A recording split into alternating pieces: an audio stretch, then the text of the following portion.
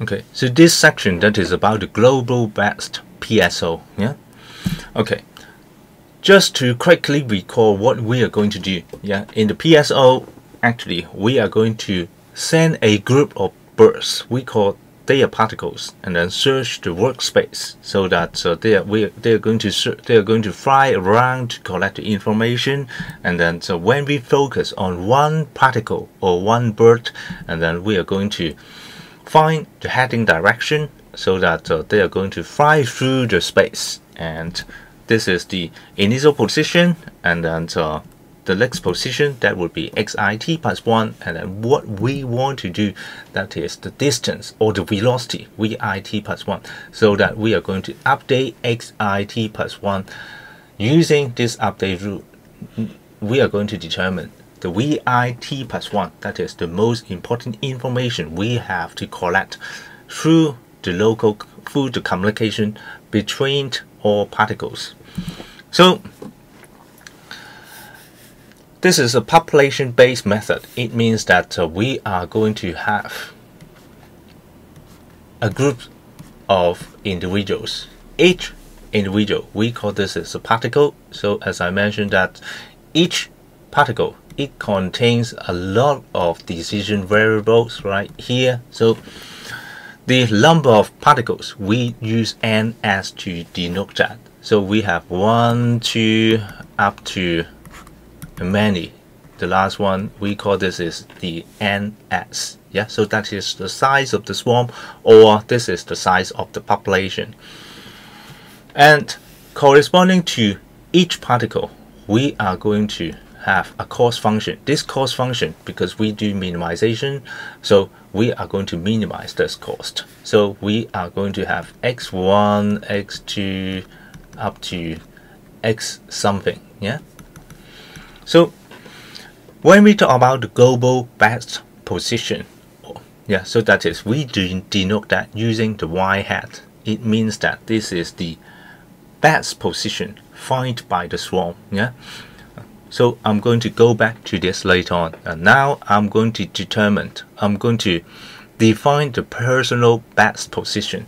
When we talk about the personal best position, that means each particle is going to fly through the space and then so so iteration by iteration and uh, this particle will collect different kind of information and will have this cost so that the best personal position that is the best solution found by each particle so each particle is associated with the personal best position denoted by yi and then this global best position is the best of the best the best of the best personal position. That is the Y hat. I'm going to talk about this using another slide so that you will find out you can get a better idea about that. Uh, as I mentioned many times that we are going to find the velocity, yeah, the velocity at the t plus one um, iteration. So this is the the way for us to calculate the velocity. So associated with each particle we have a vector. We call this is the velocity vector. This is v1, this is v2, v3, so and so. So that is something very similar to the evolution strategy. In ES, we have the individuals. Corresponding to each individual, we have the evolution strategy and then this one that is very similar we have the individual associated with an individual we have the velocity. So the first component that is the velocity and then the next component that is something to do with the decision variable itself as well as the personal best position. This c1 that is a constant we are going to choose. And then this is a control parameter r1 that is a random number in the range of 0 to 1. And then the third component right here, we have C2 and uh, another constant we have to choose. R2J that is in each iteration we are going to generate a random number in the range of 0 to 1. But this component, it relates to the X decision variable itself as well as the global best position right here. Yeah. once you once we know yi y hat as well as well as all these x right here. We can compute vij yeah? So once we have vij and then we can just simply apply this particle update rule to all the particles from particle 1 to particle ns and then so we can compute the position of the next particle that is this one that is xi t and then this one after we apply this update rule it will become xit plus 1 okay. So we use nx to denote the number of decision variable in each particle. So we have x1 x2 up to xnx yeah? Vi the dimension is compatible with xi that means if we have nx decision variable in x we will have nx variable in vi now this is the update of the personal best position. Uh, again the personal best position that is the best solution we find by each particle from the first generation.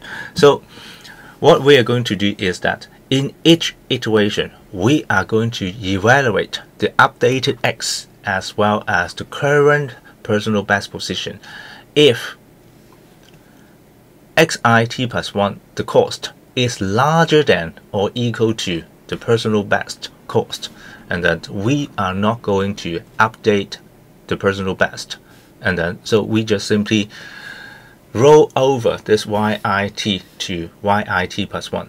Otherwise, when the cost of xi that is less than the cost of yi, we are going to update yit plus 1 as xit plus 1 because now we obtain a better solution for a minimization problem. Yeah, And then we are going to update the best global best position. As I mentioned before, the global best position, that is the best of the best personal position. So to understand this mathematics expression better, that is, so y hat t plus 1, the global best position, which will be one of this guy. Yeah, so after you update, yeah, so after you update this yi, the personal best, for each particle. And then so we have a number of options. We are going to pick the one pick the y which give you the smallest cost. So for example if y1 that is the smallest cost and then y hat t plus 1 that is y1 so in word in English it means that we are going to pick the best personal best position yeah? From the updated one right here yeah? For minimization we are going to pick the one give you the minimum cost.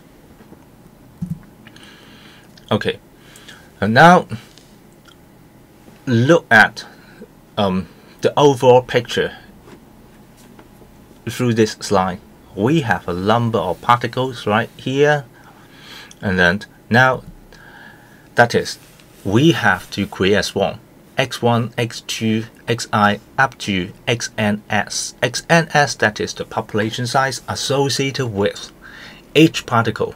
x1 we have v1, x2 we have v2. They are the velocity vector. Yeah, and then the update rule that is once we are able to compute v1 t plus 1 v2 t plus 1 so and so and then we just add this v1 t plus 1 to x1 t to form the position of the next particle. So that means the part the bird that is fly to another position right here. Yeah so this is x1 t plus 1 this is xt the update that is based on this equation using the current velocity and C1, C2 constant, R, R2 random variables, Y that is um, um, that is the Y and Y hat they are the personal best and the global best information.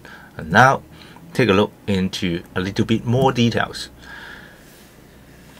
once we have a swarm, we know the personal best, that is the historical information, the best experience of each particle, and then for each personal best, when we expand it because it is a vector and then we come up with yi1 yi2 ynx because when we are talking about the i personal best associated with the i particle and then i it means that it it refers to the particle we're talking about when we expand it the second subscript that is 1 2 up to nx that is the position in this vector. So yi1 it means that the first position of the ith particle and then yi2 that is the second position of the um, the yi element yeah?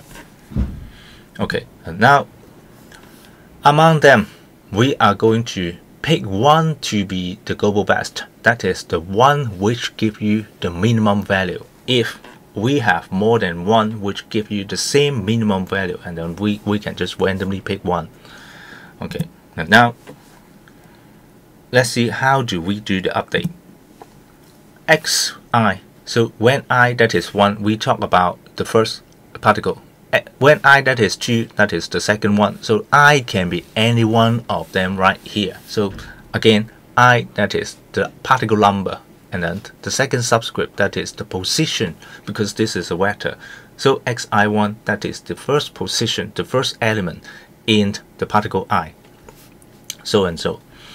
We we have the same dimension the same meaning for the subscript vi1 vi2 up to vinx and x that is the number of decision variable in the particle xi and now, this is the update rule I mentioned before. Once we define the velocity vit plus 1, and then so we can just simply add it to xit, and then we form xit plus 1. That is the next position of the ith particle. Now, personal best. yi y1 to ynx, when we pick one of the element, right, one of the yi right here, expand it, we have, we can see that we have yi1, yi2, ynx. From the personal best, pick the one give you the minimum cost. That is the global best. And then we have similar structure, but now we do not have I. It is because we only have one vector of the global best position. That is the best out of the personal best. So this is just one single vector. We have y hat 1, y hat 2 up to y and x. Now, this is the update rule. Say, when we talk about we i something, that means we are talking about the i velocity vector. i can is running from 1 to nx, so i can be any one of them. Yeah, so let's use i as the variable. Now j. Assume that j that is 1, it means that we are talking about the first position of the vector. Now right here, this one, we i1 it means that we are talking about this element so all the j will become 1 in this case so c1 constant r1 1 that is a random number so y i1 it means that we are talking about this guy and then x i1 we are talking about this guy. So y1 y hat 1 we are talking about this guy. That means corresponding to all element right here. We are talking about the first element if j equals 1 so once we know all this information we can compute vi one that is this element so xi1 plus vi1 t plus 1 we come up with this guy. And then we move on to the next element. That is when we set j equals 2 and then all this, this equation is going to talk about the second element in each vector. So we are able to find out these two guys and update the second element. We repeat this process, we are able to find all xit plus 1 yeah so that means we are going to increase the i value or running through the i value from 1 to ns yeah okay so this figure just give you some idea about how does the update happen. And then I'm going to leave that to you to look at this figure. And then uh, this is the pseudocode the pseudocode initially we have to initialize the yi and as well as the y hat. Yeah? And also the swarm. Yeah? Right here. So that means in the beginning we do not have the personal best. The personal best that is the x itself. This is because that is up to now this is the best position found by x yeah? And then out of the personal best pick the one with the best cost to to be the global best and then choose the value of c1 c2 and then um, if you wish set all the velocity to be zero in initially yeah? And then now what we are going to do is just to repeat everything right here if the stopping criteria have not been met and then so uh, we are going to repeat these two lines particle by particle. Yeah so we will go through one two up to one two up to the last particle that is to update the velocity. Yeah to update the velocity of all these particle and then in this line just to update um, the velocity, ah, sorry, update the particle to form xit plus 1. So that means after we complete this block, we already have the updated version of particle. Now this block, that is, we are going to do the same going through from the first particle to the last particle. This block, that is just to update the personal best. You will just see that we evaluate the cost of the updated particle xi and compare that with the personal best of the particle i. If it is smaller, we update the personal best to be the xit plus 1, otherwise keep the old version. Yeah, This one, that is, we are going to update the global best position. Yeah, So we just check whether to update the personal best that is less than the global best. If it is, update it yeah? Okay. And then update the counter repeat this process until the stopping criteria have been met. And then this is the global best or sometimes we call this is the G best PSO this is the flow chart. It mentioned exactly the same thing and I'm going to leave that to you. And uh, this is just a figure to show how it works. Um, so initially we are going to initialize the population and then uh, now we are going to find the global minimum that is right here. And um, so once they find collect some information they are going to pass the information to each other through the personal best uh, uh, uh through the global best position. And then now they will collect information move in the right direction. And then this group find this is the minimum the local minimum. This group is more close to the global minimum. So once they uh, form a group and then information is kept is kept passing and then finally they are going to find the global minimum and move around right here and the global best position would be the final solution okay so this is um, the animation showing how it works yeah in um, a workspace another example Okay, and now uh, I have some more example, but anyway, I'm going to leave that to you.